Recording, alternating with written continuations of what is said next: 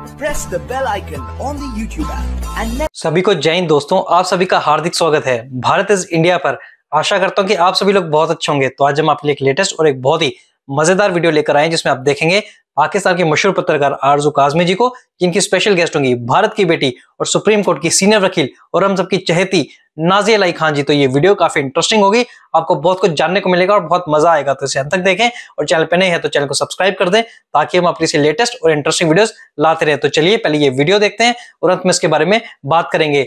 जय हिंद, जय भारत। हमारे साथ हैं जी नाजिया इलाही खान और सब नाजिया को जानते हैं आजकल बहुत भाग दौड़ है फिर भी नाजिया ने टाइम निकाल लिया। Thank you so much Nazia. क्या जा पाएँगे? बहुत शुक्रिया। भारत माता की जय। बहुत मज़ा आता है आपके साथ। जब भी सेशन होता है ना मुझे बहुत मज़ा आता है। मुझे भी बहुत अच्छा लगता है और आज भी मैं आपसे पूछना चाहूँगी वैसे तो विक्रम सिंह साहब जो डीजी यूपी पुलिस रह चुके हैं उन्होंने भी मुझे काफ़ी चीज़ें समझाई हैं लेकिन फिर भी एक एज अ मुस्लिम मैं आपसे पूछना चाहूँगी कि मुख्तार अंसारी मसीहा लिख रहे हैं लोग ट्विटर के ऊपर कुछ लोग गैंगस्टर लिख रहे हैं। आखिर ये क्या माजरा है ये हो क्या रहा है?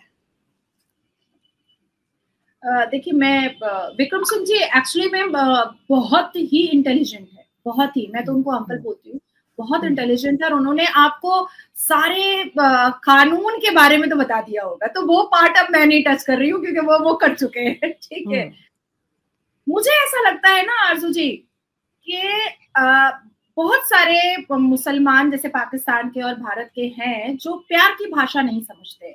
और 1900 अ, 1947 से लेकर के 2024 के अप्रैल तक मुसलमानों को प्यार की भाषा अब तक समझाने का प्रयास किया जा रहा है। तो होता क्या है कि इसमें कहावत में बोलना चाहूँगी आपको कि समुद्र का पानी अगर खारा नहीं होता ना तो लोग उस, उससे भी बिज़नेस कर लेते और लोग उसको भी उठाकर पी जाते और हमारी दुनिया में हमारी धरती पर एक भी समुद्र नहीं बचता। तो कभी कभी होता क्या है कि हमें अपने और के अंदर हमें अपने अपने अंदर थोड़ा सा खारापन लाना पड़ता है किसी को समझाने के लिए। देखिए पैंसठ केस 65 क्रिमिनल केस जिसमें आठ गैंगस्टर एक्ट के केस रजिस्टर हुए थे मुख्तार अंसारी पर। मुख्तार अंसारी के बारे में सबको पता है कि समाजवादी पार्टी जो अखिलेश यादव और मुलायम सिंह यादव की पार्टी थी और कांग्रेस के गोद में रह करके, उसने उत्तर प्रदेश को जीता जागता पाकिस्तान का धरती बना डाला था, जहाँ पर हिंदू चू चा भी नहीं कर सकते थे। उत्तर प्रदेश एक ऐसी जगह थी कि हिंदुओं को अपने फेस्टिवल्स को मनाने के लिए दिवाली का दीप जलाने के लिए भी सोचना पड़ता था कि अगर मुख्तार अंसारी गुस्सा हो जाएगा तो वो तो सीधा तलवार निकाल लेगा। सीधा तलवार निकालेगा। मुख्तार अंसारी, वो व्यक्ति रहा है जो अपनी जीप पर अपने चुन्नू मुन्नू और गैंगस्टर्स की टीम को लेकर के जीप पर नंगी तलवार लेकर के घूमता था।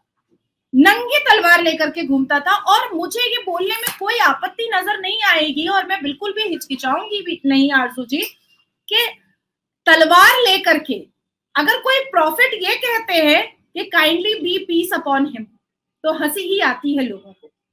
हँसी ही आती है कि आप अपने एक हाथ में तलवार लिए हो और आप अपनी ज़ुबान में कह रहे हो कि kindly be peace upon him what is this मज़ाक चल रहा है क्या? अब आती है बात कि 2005 में जेल गया था मुख्तार अंसारी। तो 2005 में तो भारतीय जनता पार्टी की सरकार नहीं थी। 65 क्रिमिनल केसेस जब उसके ऊपर रजिस्टर हुए थे जिसमें से आठ criminal cases gang, gangster register act में है तो वो तो समाजवादी पार्टी अखिलेश यादव की सरकार चल रही थी और कांग्रेस की सरकार चल रही थी और उनके गोद में बैठ करके आप ये सारा कार्यक्रम, फिरौती का किडनैपिंग का मोलेस्टेशन का रेप का, उसके बाद फिर लैंड माफिया का, ये किडनैपिंग का, ये सारी चीज़ें मुख्तार अंसारी आराम से कर रहा था और किसके नेतृत्व में कर रहा था? कांग्रेस और अखिलेश यादव के नेतृत्व में कर रहा था। अब लोग सोचेंगे कि अपोजिशन में है नाजिया, इसलिए ये बात बोल रही है। नहीं महिलाओं को मैं ये बात ज़रूर बताना चाहूँगी कि अखिलेश यादव और मुलायम सिंह यादव वो हैं जो कभी भी एक पिता और बेटे के अंदर इज़्ज़त वाला रिश्ता नहीं था। बेटे अखिलेश यादव ने हमेशा पिता को बेइज्जत किया है और सरे मंच भी बेइज्जत किया है। मुलायम सिंह यादव ने अपनी स्पीच में आरज़ू जी कहा था कि अरे, लड़कियाँ इतनी टाइट टाइट जीन्स पहनेंगी तो लड़कों का दिल तो मचल जाएगा ही ना। गलतियाँ तो हो ही जाएँगी ना। लड़कियाँ इतना चिपका हुआ, इतना सटा हुआ, इतना जिस्म को दिखाने वाला जीन्स पहनती ही काहे है? ये कौन बोल रहा है? ये उत्तर प्रदेश के उस वक्त मुख्यमंत्री बोल रहे हैं। अब आप सोचिए।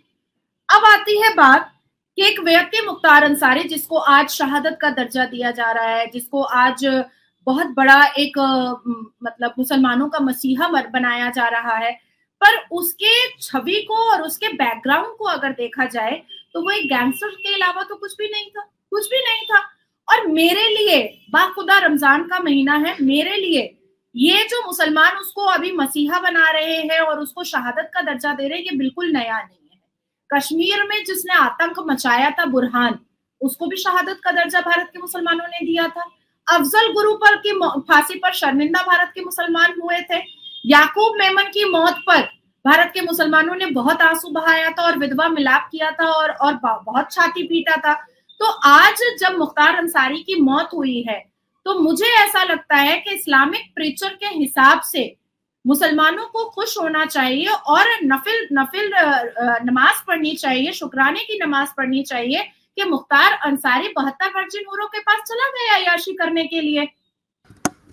ये तो नमाज़ पढ़नी चाहिए। ये तो बहुत खुशी की बात है। मगर नाजिया एक चीज़ और है यहाँ पे जो मुझे विक्रम सिंह साहब ने बताई थी डॉक्टर विक्रम सिंह के साथ जब मेरा शो था तो वो कह रहे थे कि उसके लिए बहुत जेल के अंदर भी बड़ी फैसिलिटीज़ दी गई थी और वो फ्रेश फ़िश खाने का शौकीन था। तो वो सब तो क्या भारत की जेल में ये सब कुछ भी होता है कि आप इतनी फैसिलिटीज़ किसी कैदी को दे सकते हैं? देखिए भारत के जेल में जुडिशरी सिस्टम अब जाकर के टाइट हुआ है। उन्होंने बिल्कुल सही बताया है और क्योंकि वो डीजीपी रह चुके हैं तो उनका जो उनका जो आँख से देखा हुआ होगा, वो शायद उतना कवर अप मैं भी नहीं कर पाऊँगी। पर एज अ प्रैक्टिस लॉयर मैं इतना जानती हूँ कि जेल के अंदर जिस हिसाब से उनका बेटा ये एलिगेशन लगा रहा है कि उसको, उनको जहर दे करके मारा गया है जुडिशियल कस्टडी के अंदर किसी की मौत इतनी आसान नहीं होती है। बिल्कुल आसान नहीं होती और उनके बेटे के लिए सर्वोच्च न्यायपालिका का दरवाज़ा खुला है, उनका बेटा एम्स में करवाना चाहता है री इन्वेस्टिगेशन वो कर वो कर सकता है, सारी चीज़ें खुली भी हैं। अब आती है बात के जेल के अंदर इतनी सारी फैसिलिटी तो मैं आपको एक चीज़ याद दिला देती हूँ कि याकूब मेमन की जिस सुबह में फांसी होने वाली थी, उसी रात को 12 बजे the honourable supreme court of India CJI chief justice of India के घर में पूरा वकीलों का एक काफिला पहुँचा था, पूरा वकीलों की एक फौज पहुँची थी। और एक मर्सी पिटिशन सबमिट करने के लिए और वो वकीलों का काफिला ये कह रहा था चीफ जस्टिस ऑफ़ इंडिया को, याकूब मेमन का भी फ्यूचर है, उसका भी मुस्तकबिल है, उसको उसको मर्सी किया जाए। और इस पर सिग्नेचर किसने किया था? बॉलीवुड की सारी अदाकाराओं ने किया था, जिसमें शबाना आजमी, जावेद अख्तर, ये लोग भी थे,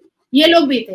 तो मुझे, देखिए, भारत हमेशा जब भी भारत के मुसलमानों को दिखता है कि कोई एक आतंकी, दंगई, जिहादी जंगजू और बलात्कारी अब कानून के शिकंजे में आ गया है।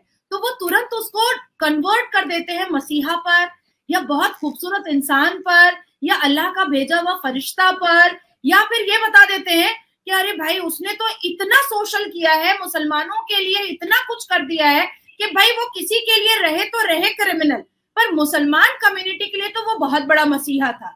अब आप सोचे कि बचपन से हम क्या सुनते आ रहे हैं कि मुसलमान जनाजा अगर जा रहा होता है तो हमें पढ़ना क्या पड़ता है? इन्ना लिल्लाह व इन्ना अलैहि राजिऊन। और अगर एक हिंदू का डेड बॉडी जा रहा होता है तो हमें पढ़ना क्या पड़ता है? फ़ी नारे जहन्नम। अब नासिर खान मरेगा, जिसने बलात्कार किया, जो दस साल जेल के अंदर जमा रहा। या बदायूं का वो साजिद और जावेद, जिसने दो मासूम बच्चों के गले काटे, उसकी बोटियाँ खाई और उसका खून मुँह में लगाया।